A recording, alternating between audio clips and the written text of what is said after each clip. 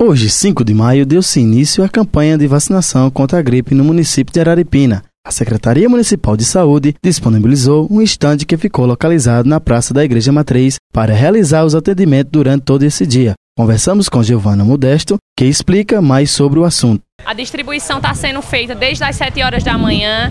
Todos os PSFs já pegaram suas, suas vacinas lá no, no na unidade central, que é o centro de saúde, e todos os distritos já se encontram disponíveis.